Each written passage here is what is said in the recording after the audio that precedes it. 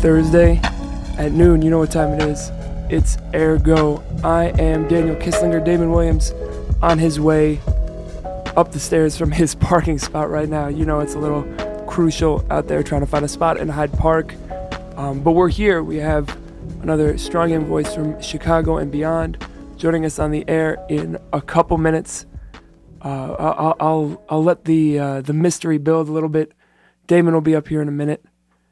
Uh, and we're going to be ready to go. A couple announcements, starting it off up top. You know, we like to bring that on up top. Uh, tonight at the Promontory, uh, there's a great show put on by uh, Blipster Life featuring Jean Grae, in from New York, one of my favorite rappers, uh, personalities, comedian. She's fantastic. That's uh, tonight. I realize we never say the date on the air, and people listen to the podcast whenever, so it's a little dicey. Uh, but yeah, tonight, uh, 1 7, January 7th at the Promontory, Jean Grae. Come through to that. Um, and I'll leave the other ones for once Damon gets up here because we have a couple things to talk through. So before we get to our strong young voice for the week, uh, I'll just say her name. Veronica Morris Moore is in the building. Um, why don't we start with one of the songs that I've been playing? You know, as as uh, things get tough here in January, you know, not that much light out here. Sometimes you need music to bring you a little hope. This is what Laura Mvula has been doing for me for the last, I don't know, couple weeks or so on repeat. Here's one of my favorite songs by her, She. You're listening to Ergo, WHPK, ergoradio.com. She walked towards you with her head down low. She wondered if there's a way out of the blue. Who's gonna take her home this time? She knew that this time wouldn't be the last time.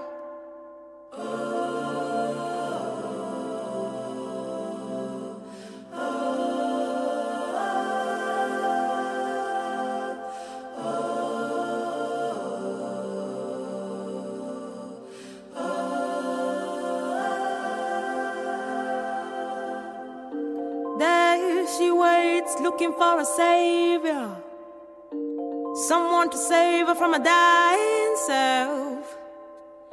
Always taking ten steps back and one step forward.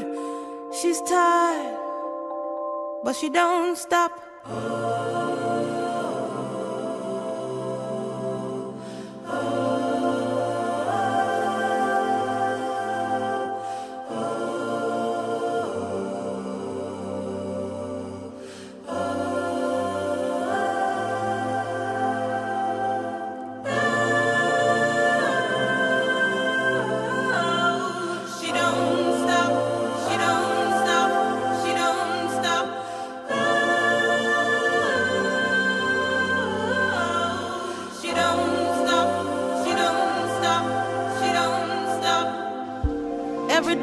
She stood, hoping for a new life.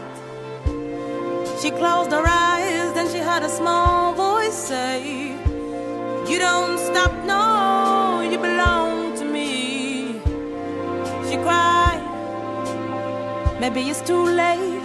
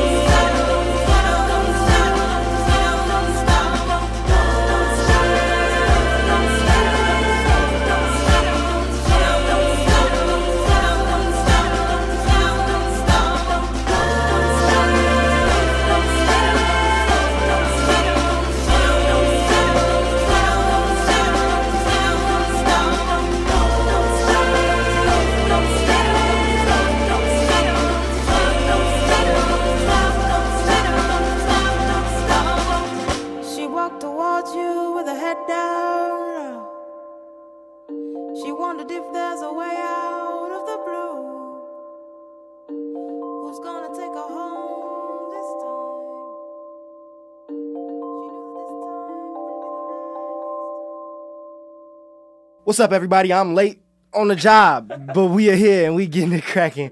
Appreciate Kiss for holding it down on, on the pseudo intro. But you are here. It is noon 06. Uh, this is Ergo Radio on a Thursday. I am Damon. I am Daniel. Finally back in the studio together. It Feels like it's been I forever. feel like yeah, it was only like one week, but it feels like I missed you, man. yeah. Did, was it was it lonely in here without me? I actually just cried for an hour on the radio last week. It was really Hugged- tough. Hugged yourself. It was an emotional moment. Yeah. Word. Well, we killed all of our b- BSing time. I almost messed up. I'll jump. We killed all our BSing time with with my tardiness. Uh, so we're gonna get right to it.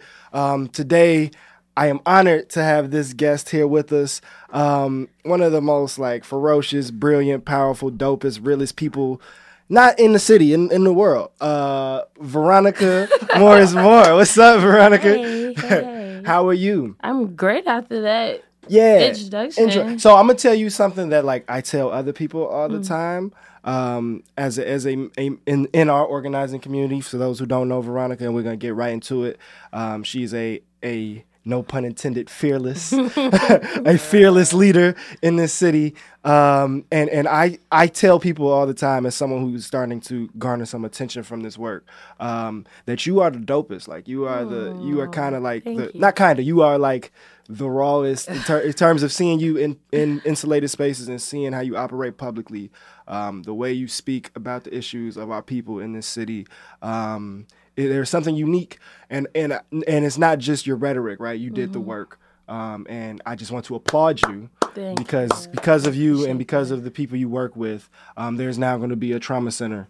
On the south side of Chicago, where, where young black people are dying. So I, I appreciate you for helping save lives, literally. No problem. I appreciate you folks for supporting us. You know, folks like you, people who always hold it down, like at marches, on Facebook, on Twitter. So all of us love. Like we made it happen together. Word, word, word. Um, so real quick, we're gonna just. I just want to. We don't want to assume that people know what we're talking about. Um, so for five years now, there's been no trauma center on the South Side. First things first, what is a trauma center? Well, a trauma center is a place in a hospital that is specifically there to deal with traumatic injuries, like gunshot wounds. When people get in car accidents and things like that, they go to a trauma center. And so it hasn't been one on the South Side um, in over 20 years. Oh, wow. The university, the trauma network opened up on the South Side like around 86. The University of Chicago closed theirs. They opened theirs in like 88. They closed it in 89. So they only had it open for a year. And it, the reason they the, the reason that they cited why they closed it was financial reasons. It was costing them 1.5 million a year. Um, It wasn't even open long enough for the paint to dry. That's crazy. no, no, not even. And when the University of Chicago closed their trauma center, um, consequently everything else, um, other hospitals like Michael Reese, which then eventually closed its doors. Right, That's where I was born. It doesn't even exist no more. Exactly. And so um, it, it, it's been an issue for a really, really long time. And the young people uh, that are a part of FLY and a part of Fearless Leading by the Youth decided to start this campaign because they lost a, a really close friend and the co founding member of FLY, Damian Turner. And it was something that, you know, young people have been dealing with trauma for a really long time. Especially with the increase in gun violence, right? Especially with the decrease in resources. And, you, Damian was lost to gun violence. Yeah, Damian was shot in his back on right on 61st and Cottage Grove, some minutes away from where we are right now. So, so the point is, if he didn't have to be driven downtown, Yeah. his chance of surviving would have increased. and him and friends that he lost, you know, he while he was still here, he felt like it should be a trauma center at the University of Chicago. He felt like the University of Chicago should be held accountable to the community and things like that. And if he hadn't lost his life the way he did, he would probably be sitting here right now talking to you.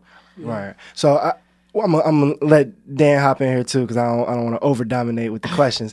But um, for for I hate when people do this, but I'm gonna do it anyway. Um, because I know there's people listening who who may have you know pushback. Um, for those who say. Why is it a private university's responsibility, right? Like, why do y'all hold them accountable to the extent that you do when it should maybe be the duty of the state or ho- other hospitals. to-. I to do love this? that question. Actually, um, is is From different. from our listeners, even though they didn't even ask.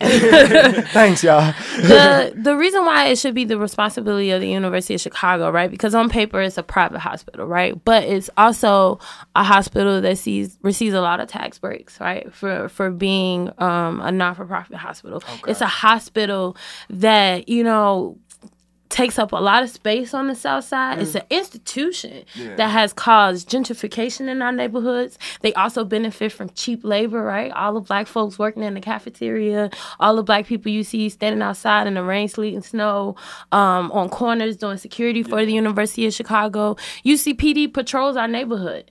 You know, I and so why not? Why? How come with all of its vast resources can't they save lives if that's if they're the forefront of medicine? I think the two most important parts of that would be they're being subsidized, Yeah. um, and then the, the effects they have through gentrification. Absolutely. and a privatized police. I mean, that's the one that to me like always bugged me. Is like, don't Yeah. tell me that you don't feel like a sense of response. Like you you can't play the like I'm a pri- we're a private separate thing card if you're like also the ones policing the streets. Like that's crazy. The to me. largest private police force in the world, if I'm not mistaken. Absolutely. And I have no interest in, in caring about anybody's private anything. They're in my neighborhood as far as I'm concerned. life. Yeah, if So- you're if you're there, if you physically are there and taking up physical and resources and cultural space, like you have a responsibility. Yeah. You know. Like we used to chant and the, we and still to this day, how can you ignore it when we're dying at your door? Like forget what your private status is. There's people. Damian was shot minutes walking distance away from this hospital. Like what does your private status got to do with this person's life? So as a result of you know years and decades and you know so much energy, like this is kind of you know from the outside, and I don't know whether it is from where you sit. It feels like a victory moment, right? Absolutely. So can you talk a little bit about like so what the Uh, like like what the what the first the the first kind of quote concession that they made and Yeah. then if you have any like what what changed and what happened because like the demands have been met Yeah, yeah. or have been promised let's say yeah, yeah. If we could just get a, a full timeline uh, uh, of of the campaign. So it started in 2010. Damian was shot August 15, 2010. And and oddly enough, I met Damian in June 2010 in the at the US Social Forum. I went with Fly.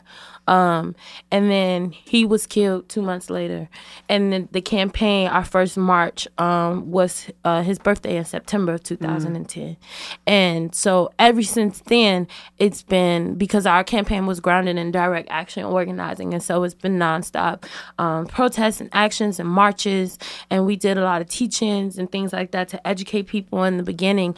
Um, and and over the years it's just progressed from like using a multitude of different tactics uh, like reaching out to state reps and, and and politicians and folks and using them for whatever they were useful for. And then and this so raw. I love that. and then this last year this last year was my favorite year i think because we really turned up hard this last year like i've been arrested uh, four times in 2015 uh, majority of them due to the the trauma center campaign fight and i'm also technically banned um, from where we are right now F like the rules. We in here. eh, but um gang, gang. and, and i think that that i want to just time out on that Yeah. can you like and i hope you know forget it. By it. the time they hear if it, we'll already be gone. hey man, it's a podcast. They're not even here anymore. Um, but you, they, you're, you're technically banned from the campus. yeah because in this last year Crazy.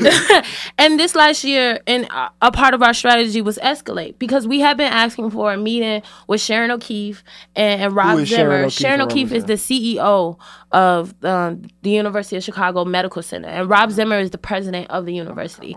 And so we have been, you know, demanding, begging, requesting to meet with them for five years now. And so it's like, okay, you're gonna ignore us for five years. Well, let's let's show you what happens when you get ignored. Um, and so we did, in particular, um, like we blocked traffic on the Magnificent Mile, right? Um, we blocked construction sites over here for the past two years. But the thing that they that got us banned um, was in June when they were kicking off their alumni weekend. We barricaded ourselves I was- inside the admin here. building I was here when was happening. we uh barricaded ourselves inside the admin building and you know it took them two hours to get us out and uh, and what was crazy is that it could have took them five minutes to get us out if they would have said rob zimmer I'll meet with you and we'll set that up, and we would have left and it wouldn't have been no drama. But instead, they chose to call the fire department, call the police department, break down um, walls, their own walls, and tear up windows and send people why, off to jail. Why are they destroying their own property? Why are they destroying their own community? You When they know? just be building a trauma center. yeah, Those looters. exactly. yeah, they were. Um. So I mean, so with that, they decided to issue a ban on folks who were who participated in that action. Were there any current current students Uh, involved in it? there was one grad student a part of the action. Um, that person wasn't banned. There were also alumni folks who were part of that the action. They are banned, but I think it's hilarious how they like ban their own alumni, like people who paid. During Alumni Week. Exactly, exactly. You know, the contradictions are endless with this institution. So so so that was kind of the escalation. Now now let's get to the point of they were kind of like two victories. Mm-hmm. Um and, and and and the most recent kind of caught me by surprise. Um so how from your position did we get to where we are now and where are we? Well, we were relentless. Um, and I think that has everything to do with us calling and, and living by being fearless um, youth.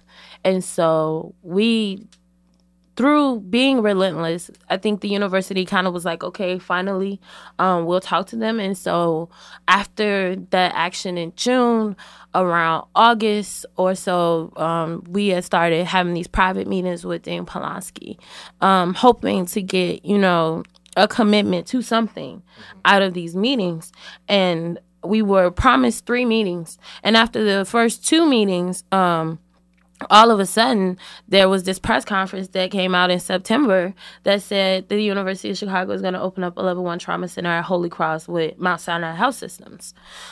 Which is where, for the record? That's at Holy Cross is um it's on 65th and I want to say Pulaski. So it wasn't on campus, but they were going to give resources and some support. Yeah. this, It's Which- actually not technically not close. No, it's but not. it- but still technically the south It's side. closer. It's still it's still the south side. It's definitely a neighborhood. I actually lost a homie that stayed um, not too far from that hospital on 70th and Talman. He was gunned down right in front of his home, and I lost him in April. So to hear that news in September was just like you know, I don't want to curse, but it hurt.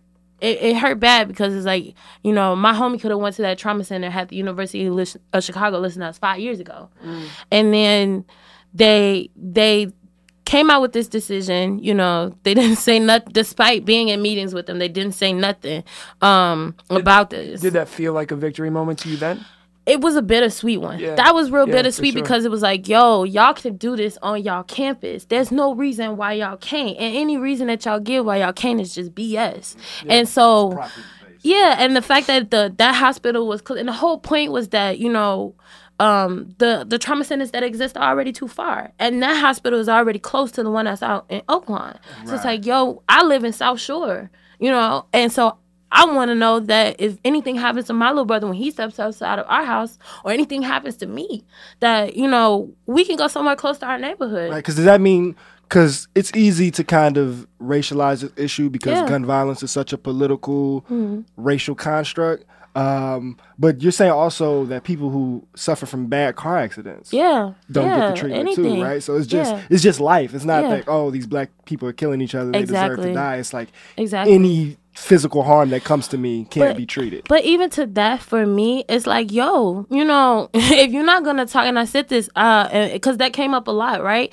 And my whole thing was like, if you're not gonna talk about the police that are in our neighborhoods, that's you know, facilitating crime, if you're not going to talk about the fact that the schools are closing in my neighborhood, all that, then I don't want to hear what you got to say about gun violence. The closing of the mental health facilities. Ex- Exactly. Like if you're not going to talk about the systematic divestment in black people and how that has led to the increase in poverty and the increase in death, like I don't care what you're saying about gun violence. Absolutely. Um, why don't we give everyone a second to catch their breath, and then we'll we'll, we'll keep going. Um, I'm gonna play a song for once not from Chicago. The artist. It's kind of a big moment, but one of the artists features on this track is actually playing a concert in Chicago this week. Uh, Kirk Knight performing with Allan Kingdom and a couple other folks from here. Um, this is Chelsea Reject featuring Kirk Knight. It's called 47. You're listening to Ergo Radio, WHPK 88.5. Yeah.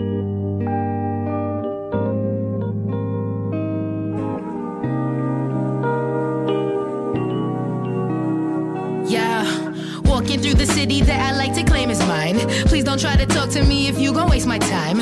Awkwardly stepping all over these decrepit bricks, representing. Life is a movie, leave them all in suspense. Eh. Mama heard that I was spitting. Asked if I've been getting but I don't know the difference. Cause even when I feel low and I'm sober, I'm lifted. Wait a minute, give it time, give it time. I just gotta stay committed. This is the shit that I love. Really putting everything on the line, so I know that I can't give it up. See, I tried to go to an art school, but I learned that the canvas is us. So I dropped out of that art school. Fuck a degree, need to craft right now. Need to make life count. Something to me when I smoke that loud. I branch out, really ain't fucking with me, so. Looking at the past, current events, like how could you be so cold? All the memories so old, even though it all went down something like a week ago. Don't ask me for a feature though. Ask me for a feature dope. Look at me, we count your dough. Let you know it's on the flow.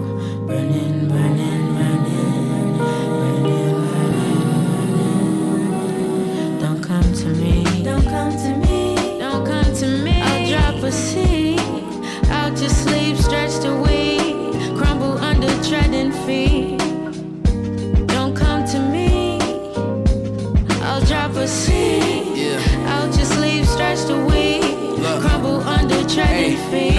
Amongst thieves these days. How I'm supposed to feel these days. Faces change like mitosis. Who could come the closest to the finish line? Never studied but seem to osmosis. Knowing that the knowledge is more potent but so different. Feeling like I'm supposed to host a listing pigs, throw the dirt on their name. Demons, sane angels aim over people, slaving over stoves. Overdose ain't cracked up to be, but more unhappily. Mind states validate the crime rate like my salary, man. That BK battery just taught to keep wildin'. Teach more violence, and I ain't buying it. Selling dreams, remain silent, completely honest. Only good human being is a dead one by the following. Came from the dirt, is that dead man rising them. So when the sun shine, load those parades on parades and start 47 styling. Don't come to me, don't come to me, don't come to me. I plant the seed.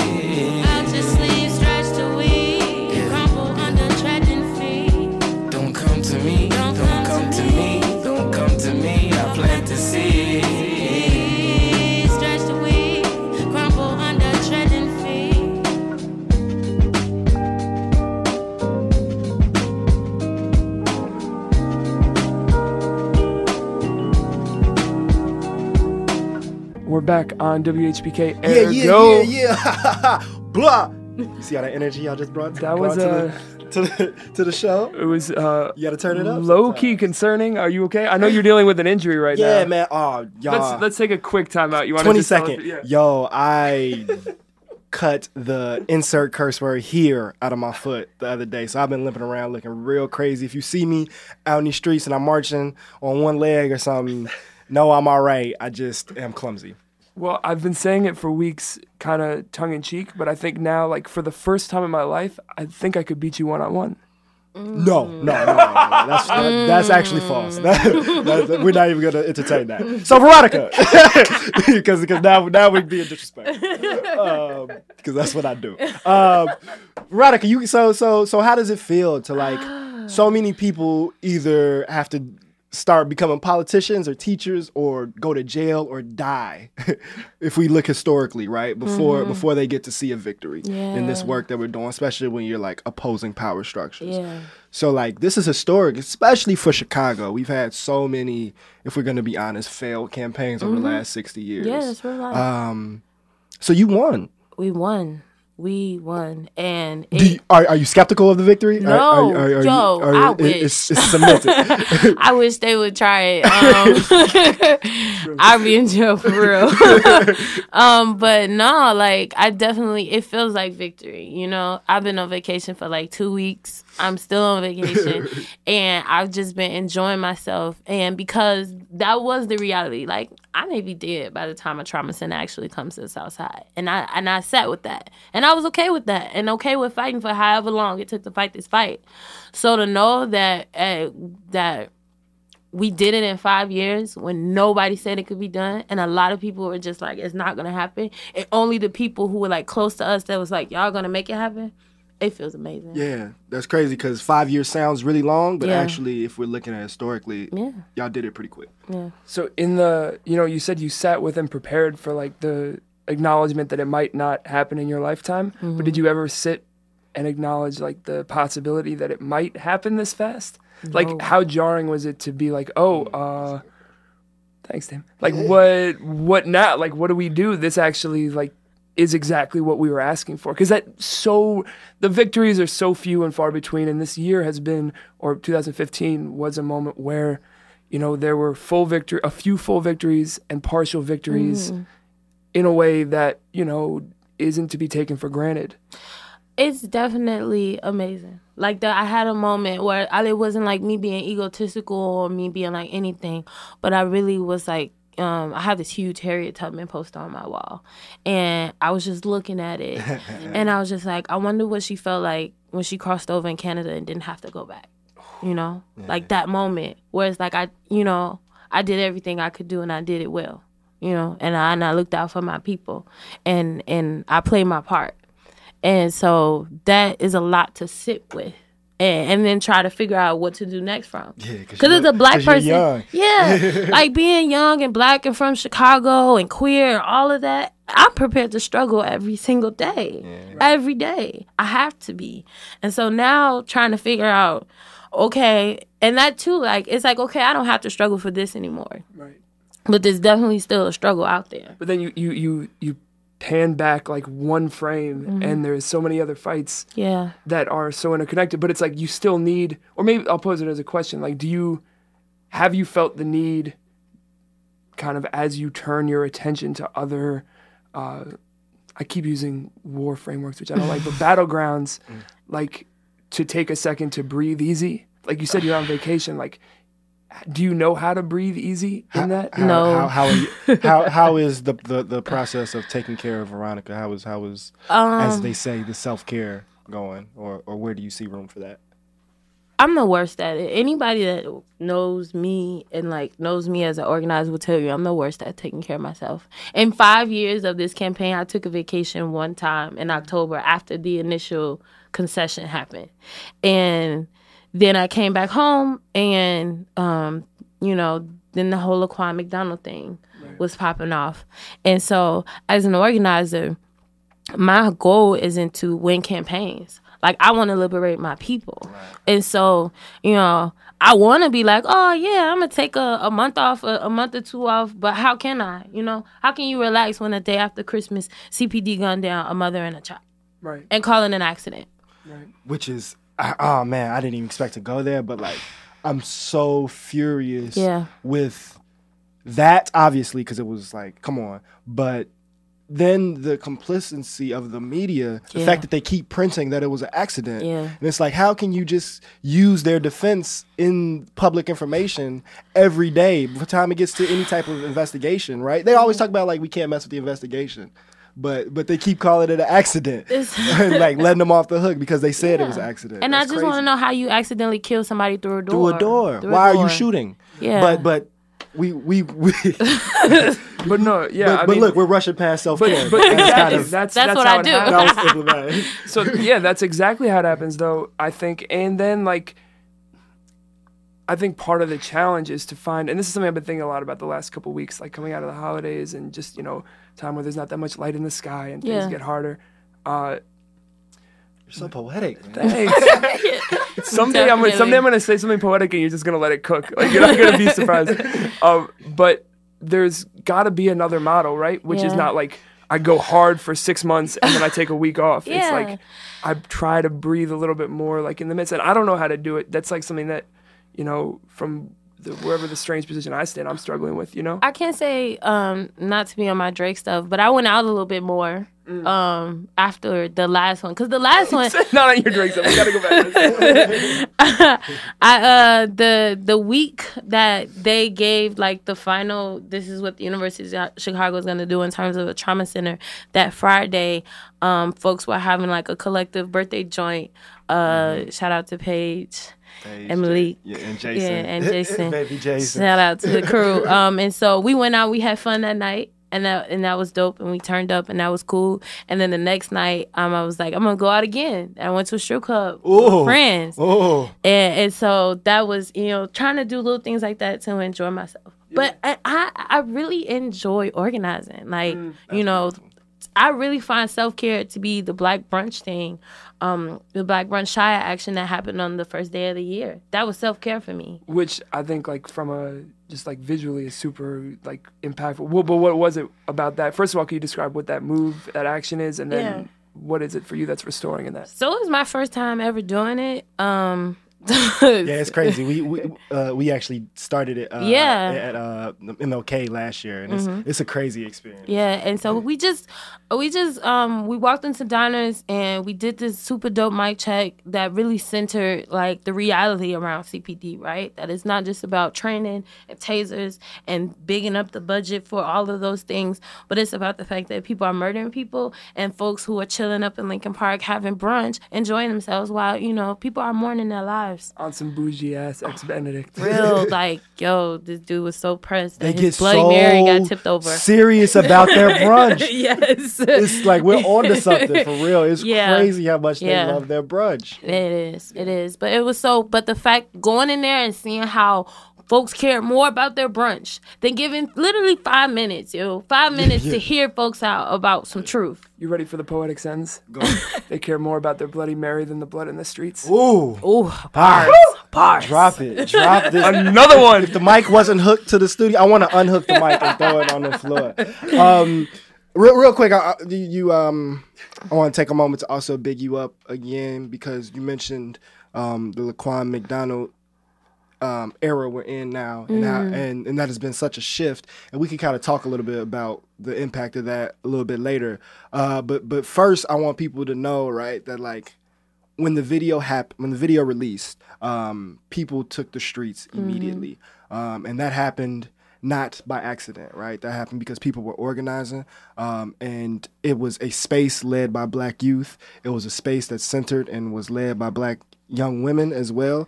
Um, and Veronica, you yourself was like probably one of the most um, influential people in getting people to sit down and prepare the week before when Yeah. we knew it was coming out. Um, so one, I just want to commend you uh, because you. as a lot of people are like rushing the cameras right now and Yeah. it's like saying we're, we're leaders, you know, you actually, I, I I, wouldn't have been as prepared if it weren't for the, the, the space that you created. But that was more selfish than anything. In real life, like I didn't want to be alone when that tape mm-hmm. came out, and I didn't want to like, and and I didn't want it to just be like, I, and I love my fly family, but you know. I didn't want it to just be us looking at us, you know. Like I really wanted us to hold each other as young black people in the city doing work, um, and and and because it's stuff like that, you know. We deal with a lot of things, but things that are that heinous and that gruesome and that just openly like on some real white supremacist Yeah, stuff. Like vile. Yeah, it, it rips you, and I didn't want to. I def, I didn't want me and my folks to have to handle that by ourselves at all. But that And- feels like a selfish impulse. that, that I just I'm I'm Yeah. interested in this because I think like it's it's the internal work that goes with the external work. Like Yeah. you're like it felt selfish to not want to be alone. That's like to me the most natural instinct in a moment like that. You know.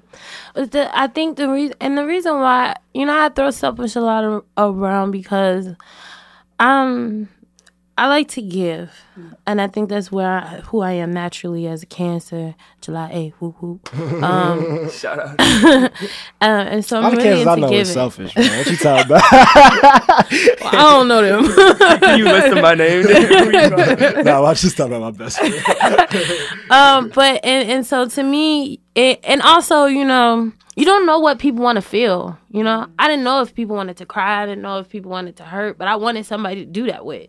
You know, regardless if that's what people wanted. And so that was that was it. Like in the the superficial value of it. You know. Oh, so let's take it all the way back. Uh, where in the where in the city did you grow up?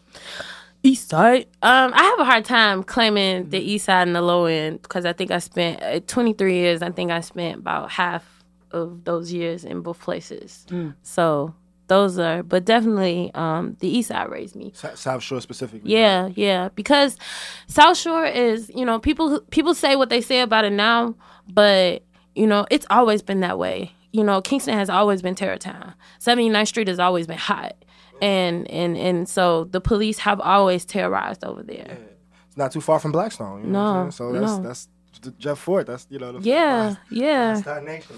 Yeah, and when all of those, and when and when factions started to break out and things like that, and like '90s kids started getting involved and things like that, it became it became even more, you know, Wild Wild East, and it and it it it showed me, you know, like I got cops where I live on Manistee. It's cops walking distance away from my crib, but when shots rang out down my block, the first people that show up are my people. Mm. You know, and like living like that and watching that, like how folks say we're so dangerous and that's such a bad neighborhood and you shouldn't go there. But there's so much love there mm. for other people and so much concern for other people there, more so than any cop will ever have for us. Mm. So that that that built me in a way. So I, I, I want to, um, you know, what, what what about your home life, right? Growing up East Side, I know you went to, to Hyde Park Academy, um, right? Because basically what you're saying is you graduated in 2010, Yeah. um, and in 2010 you began organizing, Yeah. right? so you hit the ground running as an 18, 17 year old, Yeah. um, and and what about your home life? What experiences shaped you or prepared you um, at such a young age to intentionally take that route? Um, the first thing that comes to mind was my mom having to work like a dog. My mom having to work really hard for us to be poor. Which is mm. like, what is Wow. this? How does that happen? You know, my mom's working 16 hours a day, two jobs, two, three jobs at a time sometimes. And yet we can still f- barely afford to keep the lights and the gas and everything on at the same time. Um, and so to me, I knew something was wrong there. And then also like being an older sister and having a young brother, um, just seeing him, you know, like the, the options for him, right? It was so easy for him to get involved in in street gangs and in all of those things. More so than it was easy to get him in like an after school program. And it was just like that doesn't make any sense. And then when I got to high school, um, you know, the things that were available to me, the options and things that opportunities for me, someone who you're being told you're finna go to college and the world is your oyster and yet, you know, I can't I can go out here and get a gun quicker than I could go out here and get a job with a high school diploma.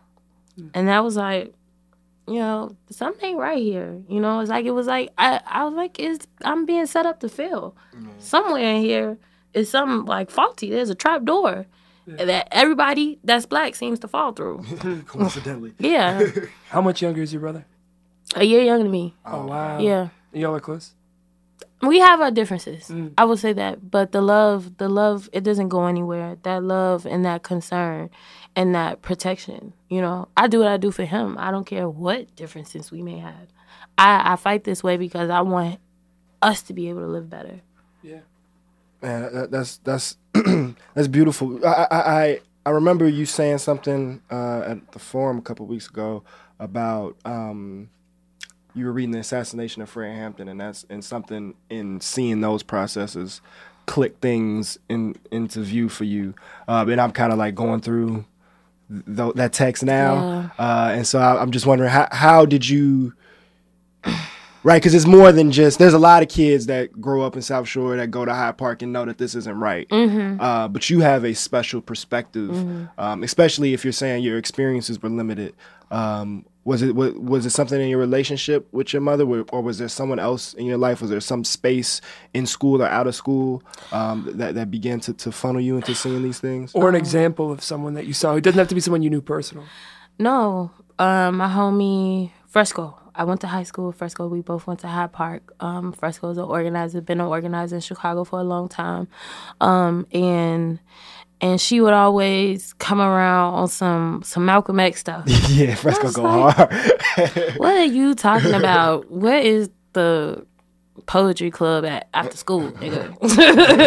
but um, she uh she came through um over to my house one time and she had this book with her and um, I just remember reading the back of it, and it was just like going hard about you know black people and black liberation and all of that. And I had never heard of any of that until she came around. Word, word. And That's so dope. I got intrigued, and and so I started reading books because you know that was my getaway was reading books and writing and all of that thing and poetry and stuff. And so I wanted to be able to write about my people and I but I had to learn about my people first because I definitely wasn't being taught in US history nothing about my people. That's so interesting. Because people probably don't even know you as an artist, They don't. um, and and and probably and I, I share that some in some spaces too, um, and and it's interesting um, that th- that was a lot for me too. Like I want to talk about this stuff and I want to mm-hmm. articulate it, but I don't think I know fully what I'm talking about. And mm-hmm. then when on that journey, Yeah. it just gets so eye opening that Yeah. you're like, oh man, yeah, because when I I, can't just rhyme about this. You know what I'm Right, saying? because when I read the assassination of Fred Hampton, that's when I was like, there is a trap door. there are people that's I like, see it now. there's are, there are people that's out there plotting on my, on my demise as a There- black woman. There's evidence for your hypothesis all of a sudden, you know, big words for the day. But yeah, no, but yeah, no, it's like this thing that I've been told over and over again. I feel crazy for thinking of. It's like, oh no, this is actually true. Yeah, Yeah. yeah. Um, where were you writing? What kind of writing were you doing? Man, when I was in high school, I, I'm- I I tweeted this last night that I'm more the creative person that I used to be because I could write about anything in high school. I, it was that carefree, and I really put my pen down um, when I started organizing because it was no longer carefree. Organizing, nobody tells you that how intense organizing is. You're dealing with not just your struggles, right? But you're holding the struggles of other people. Um, you're holding the struggles of not just people around you locally, but nationally and a global sense. It's so much to wear as a 17 year old. And, and then it makes you public, right? So now people are coming up and, and interacting with you um, as if you have some type of responsibility to them because you're doing this work. and I had to remind folks like, yo, I'm not out shopping.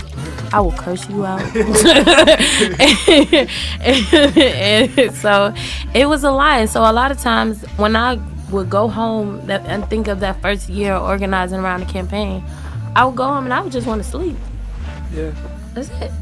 Yeah, you're not about to, you know, write some couplets out here. No. but I do think, you know, one, one of the spaces where, you know, in addition to uh, at the front of a, of a protest, one of the spaces where you're most visible these days is, you know, dealing with media. And, you know, I see you in interviews. Uh, no, no, no HBK interviews. We're talking like, uh, like on some like news channel type stuff, Yeah. and that quote battleground. I think like, you'd be killing them joints. yeah, yeah, You but be trying. smacking them. Oh, I'm You gonna curse so too. bad. I appreciate it. You be killing them joints. but I think like it goes with that, like the the people coming up to you naturally drawn to you. Like charisma is a quantifiable resource. Like it's a thing. Yeah, there we go. There's another one. Um, no, but it is. It's like a. And first of all, I made a list of all these phrases that I wanted to work in for today. They're all on my phone. I'm staring at them right now. no, but I, I, I, I, take, I take back my. Mm. That was, that was you, you prefer if it's improv? yeah, it gotta be off the top. Bro. Um, yeah, Rip. I'm bringing these. a rip. But it's. Exactly. No, but I do think like charisma is this thing, especially uh, in dealing with media. You know, and I think both of y'all, you know, have moments where you see people drawn to you and turning the microphone to you with this assumption that you have these answers because you walk through spaces with a a charisma or a gravitas or like an understanding that doesn't necessarily mean I have all the answers, but it means like I'm here, I'm about this, I'm present. Um, in dealing with like media and the the, the BS, I, I even like hate making it that vague. In dealing with the BS ass framing and framework that like a you know a Fox channel or like the news here does, and then you're going into that space and calling them on their ish basically. Yeah. Um, first of all, why do you feel comfortable doing that? Like, how do you feel comfortable doing that? And also, why do you want to? It's funny because in the beginning, it was like I had to, right? When you were assigning roles, and it's like, who's gonna lead the chance? Who's gonna do this? Nobody wanted to talk to the media. Nobody. And and I was I I did um slams when I was in high mm, school. I word. did Louder Than a Bomb Oh, and all of those things. and so I was fine with getting on a stage and talking in front of people. And so I saw the media that way.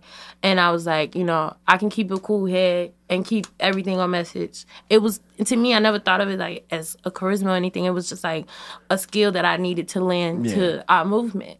And so that's what it turned into in the beginning. And then and then um, the closer that I got to the work and the more I got developed in the work, it was everything that you said. Like, I'm about this life. I am the directly impacted. I, I live in these neighborhoods. I go through this, and my people go through this. And so, um, I and and everybody else also it was also majority um because all of the fly members are that right um some folks even more so than me um but folks were comfortable with me doing that and we're like you know we trust you and so i i went with that Cool. Yeah, and it's also, I mean, we don't have a ton of time, but I do want to bring it up. Like, the expectations get challenged because, uh, you know, the expectation of the male charismatic leader Yeah. is so prevalent. Like, who they turn the microphone to is so prevalent, and it's this like, at least as a consumer of that media, it feels like a like a reclamation of like, no, like I'm the one who needs to be talking to you. yeah Like, yeah um, yeah. it, it got in it got to that for me maybe like around 2013 the more i understood like doing this work introduced me to male supremacy so much man. it's so funny how too. we internalize patriarchy within the movement and so i i it was like oh no y'all got me messed up yeah Yeah, that's the work. So and I think part of the work. I think also to to your uh, eloquent and profound pre-written question. I don't know how I feel about that. Nah, I'm nah, you, bombarded, you do your work. You do your work. But I, th- I think another another point of like the, having the answers, people looking for you the answers. I think there's the confidence that you don't have all the answers that Yeah. allows you to speak more freely and honestly than those who. Um, posture themselves as like unofficial spokesmen without really having that authority. I mean, no one can really have all the answers, especially when you're talking about a large mass of people like we're fighting for. Um, so, so how do you have that comfort of like publicly learning, right? I mean, it's what I want to do. I mean, that was that was also a reason why I love books and poetry and all of those things so much because it fed me as a person. And so it's a it's a goal of mine to publicly learn and to be like, "Hey, I can't answer this question. I don't know the answer to this question, but I would like to." You know, and I feel like that's essential. It's important. Right. We just we just gonna do a left turn here. We all about um, we all about that action here at AirGo Radio. You know what I'm saying? And and I think these. I think as as organizers, we are expected to not have you know beef and not be real, um, and, and and so we do this little game. We're gonna put you on the spot um, because there's another sect of the world that people kind of wash away from confrontation and they go unchecked, and there's no accountability.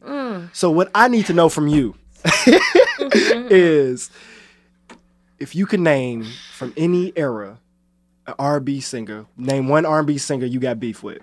You gotta have beef with an R&B singer. I know you didn't know this was gonna happen, but we do this every week here. Didn't. Beef with an R&B singer, you gotta let them know. Let me tell you. I had mad and total beef with Ginuwine. And let me tell Whoa! What a why. surprise! Is it the baby ears? Was they are they too You jailed down? know, you know. Crispy. Crunchy, baby. my my beef with my beef with him is is it's all boils down to like you know where did you go you know like that lost father I Oh, live he abandoned us. I I right I grew up in the nineties I think Timbaland abandoned him. I listened to a lot of his music coming up. I did, and I and I I prefer him over like a Jon B or whatever. Like I might have more beef with him than Ginuwine, but I hold Ginuwine accountable because it's like, yo, you dropped off the face of the earth, and then when you came back, really thought you was gonna do it, like that whole TGT Yeah, that thing, Jay was whack. and then it was whack. that Jay was, It was like Ginuwine. Come on, bro. You had, you had real love. One could even say your love was uh, genuine. Oh man, I didn't see that. You you, you give me every He getting time. his Jay-Z on you right now. give me every Yes. time. So Yes. like that's interesting because like that's that's be from a place of love. Because you're saying like as a fan, you have let me down. Yes, you let me down. We need you, is We it? needed you. My bad. that's so My bad. And I think I, I I think that's a good point. I think that's a good turn we need to make because like as R and B is in the shambles that it's in. We need to look at like what happened, and it is the the absence of the genuines of the world. It is. Ginuwine It's- did had a he had that crack. I'm not gonna lie. He had it. That chill now. if Pony came on right now, oh yeah, you I get would it lose in. it. So anxious. Oh my god. What? I'm renewing my vows to that joint. We're gonna use it. We're gonna use that as the outro music for the episode. Not even lying. We are. yeah. Wait, do you want to play? Okay, I think we uh, we I, I felt like we were gonna skip it, but I think we I think we got time for it. Yeah, let's do it. So that was our our one weekly segment. We have a second one, Hmm. uh, which is which is my favorite, and you're also getting put on the spot because I didn't prepare you for this either. Uh, but so here, AirGo Radio, WHPK eighty eight point five.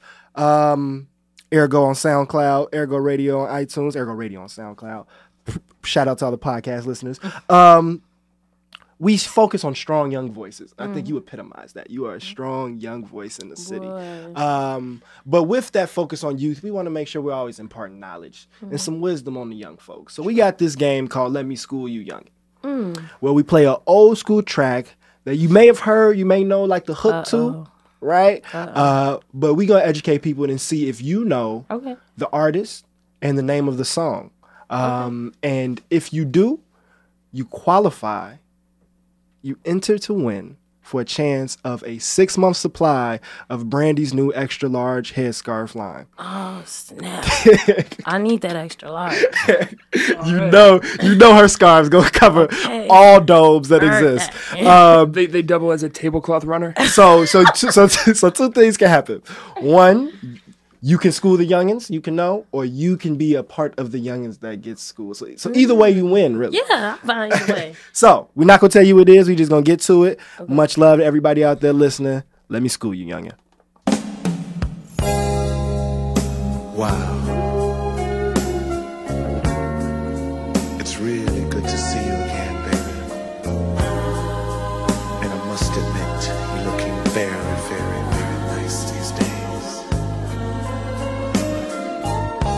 Life must be treating you well. Oh, me? Well, I've just been doing the same old thing I've always been doing. You know, I've got a new lady now. And it's a little different than it was when I was with you. You know, I think back to when we met. The way I used to be and the cold way I used to act. More than that, I think of how you changed me with your love and sensitivity. Remember when I used to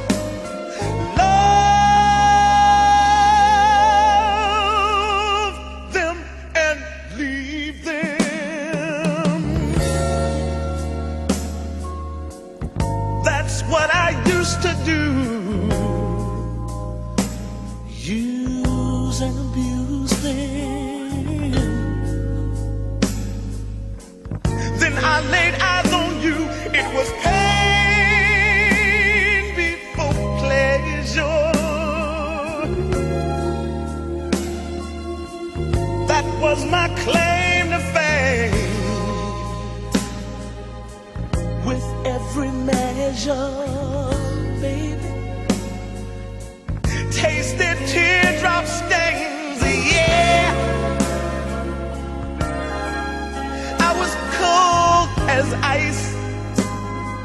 Long ago,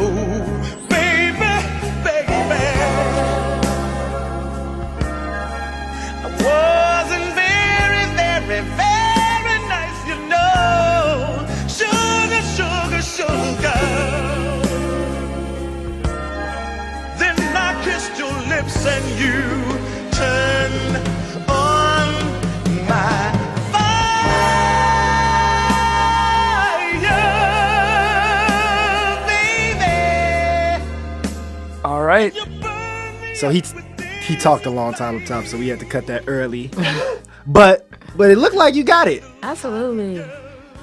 Uh, what do you think? Who do you got? Let me school you, youngin. You got an answer for us? Ah, That is Fire and Desire by Rick James and Teena Marie. But, but, but, but, but, it was easy. I threw you a lie, but but I want to give her credit because often people kind of struggle and like mints and uh, but she knew off the first note. She didn't even have to hear him talk as soon as it came on. Didn't even have to hear it. Title Rick- and artist. Rick James waxing rhapsodic. We didn't even need all that, you know. Um, congratulations on the win. Uh, the headscarves will be arriving in an extra large box in the next three to five weeks. Word. So, um, real quick before now, now that the world knows that you're an artist, we're gonna let you in with a piece. But before we do that, uh, I just want to let everybody know uh, my organization, the Let Us Breathe Collective, is opening up a new movement building space. We're gonna talk a little bit more about it next week, but it's called Breathing Room, and we're gonna be launching on MLK Day, which is January 18th. That is a Monday. It is located 3609 West Cermak in the North Lawndale area, um, and we're gonna be doing some really exciting, fun, multidisciplinary things, but if you want to be a part of helping it become a success, this Sunday, What's we- the, what's the date on Sunday? Because I realize on the podcast they don't know. what's the date on Sunday? The date on Sunday would be the 10th. Uh, yes. Eight minus t- yes minus eight. So the tenth of January, this upcoming Sunday, we're gonna be taking the pink line. We're gonna be bringing food and hot chocolate for people. We're gonna be performing on the train and letting people know that there's going to be a new community community space and resource um, because we are trying to not only build collective consciousness within the organizer community, uh, but make organizing and resistance more accessible to those most affected. Um, so that is Breathing Room. You'll get a, a more detailed pitch next week as we get ready to launch. But I invite you all, please, please, please, if you are interested, reach out to the Let Us Breathe Collective. Either Let Us Breathe 2015 at Gmail or Let Us Breathe 773 on Twitter. Um, and come get it cracking with us. It's going to be a great time. Now, One more plug, uh, and this will be ongoing for the next couple weeks. Another organization we do a lot of work with. You hear us talk about them all the time in the air. Young Chicago Authors yeah. does this big festival called Louder Than a Bomb, LTAB. which you said, Veronica, you were a part of. Uh, they just put up the form to sign up to volunteer. We need a million people to come help out. It's an amazing way to get involved with what's going on in the city and hear some strong, really young voices, um, but help facilitate uh, that. So the sign up on there is on youngchicagoauthors.org. Sign up for that. Come through. You might even see me moving some merch right outside. You know, who knows? I'm gonna just come and help. I'm not gonna sign up because I don't want to be held accountable. Everybody else sign up, but I'm gonna just show up. It's all about accountability. Nah, nah, not me, not me. I'm just gonna show up, move some real quick, go home. All right, we're done. So rude. Please bless the people. Um, so I, like I said, I haven't uh, written a piece in years. So I wrote this when I was 16. Um, and it's called Female MC, and it's the most favorite thing I've ever written of myself. She stands tall in her five foot three stature, confident about her words because her talent is natural. See, she ramsacks through whack MCs, poets, and rappers, a lyrical disaster. She creates mind twisting metaphors and sickening similes. She's similar to no one. She is a nuclear takeover with the notebook, master of destruction on the microphone, the antidote for the video vixen, the lyricist with the lyrics that make all the guys shiver and quiver as she blesses the mic. Cause she's something like the Aphrodite of poetry, beauty on the beat, forcing crowds to their feet or better yet bow down. This female MC doesn't need a roughneck. See, she is the roughneck, the damsel that causes the distress, leaving pens and pencils in need of penicillin. Her flow should be considered a violent, vicious virus. So to say that she is sick is an understatement continuously underestimated and yet grown men want to be like her and little boys want to follow her footsteps and still she stays humble. Doesn't feel the need to brag on the obvious clothes size comfortable because her poetry won't be defined by d cups. And in her heart lays lyrics heavier than any bra can contain and she cannot be tamed. Cover girl can't cover up her hunger for this she doesn't believe in Maybelline because she knows that she was born with this insane thing that makes her flow from the membrane gangster instinct to shoot guys and leave them covered in ink stains. Consider her a deadly weapon. The new age, Bloody Mary, bathing in the blood of these self proclaimed kings, single handedly annihilating all these underground gangsters, new age wanksters. These cats think they spit fire, but she is the baker, hip hop Medusa the writing game Undertaker, the one hit wonder slayer. She doesn't need seven days to be a bitch. You can get the magic every time she spits, no questions asked, period. And still they doubt her. So she sits in the back of the room, patiently waiting for the host to announce her. Yo, yo, bar, bar, bar, bar. Bars. Bars. That, that was from when you were 16? 16. That's why I say I miss I miss You gotta you gotta start writing. You I gotta get back to writing. it. But- you gotta get back to but. Vacation. I do have some stuff on SoundCloud. you got some, um, oh, plug everything. Plug You can look me up on SoundCloud, Veronica platforms. Bars, Veronica traditional spelling B A R S, and um, that's my name on Twitter, Instagram, Snapchat, all that. Yes. That was unbelievable. That was super way. I dope like and a surprise. You know what I'm saying? I was you. like, oh, let's see what this is. But nah, you came with the heat. this is old bars. Yeah, no, we came skeptical. I'm not gonna. yeah, I would be. I'm. I, I'm telling you, it's it's the best kept secret in That's Chicago. love. Nah, that, yeah. nah, nah, that, that was dope. I just want to end with once again saying thank you so much Mm-hmm. for your leadership um, and for the work that you've done and what you've done for this city and what you've done for these people already. And I'm so excited that I get to be around and see what's to come. Yes, uh, yes. We got to have you back because there's like a whole nother hour of stuff we got to talk about. Uh, but much love. That was AirGo Radio. You got anything to say to the people, man? Nah, man, thank you so much for being here, Veronica. Thank y'all for and uh, me. apologies for the, the the one person intro up top. It felt very lonely up here, I'm sorry, but it's man. nice to have the whole squad back. back together. Y'all are so uh, cute. They've been sharing a microphone this whole time. It's so cute. Oh man, yeah, no, it's uh. My it's, dad uh, called uh, you a quality buddy. We gotta go. we'll, we'll talk to you next week. AirGo Radio WHPK.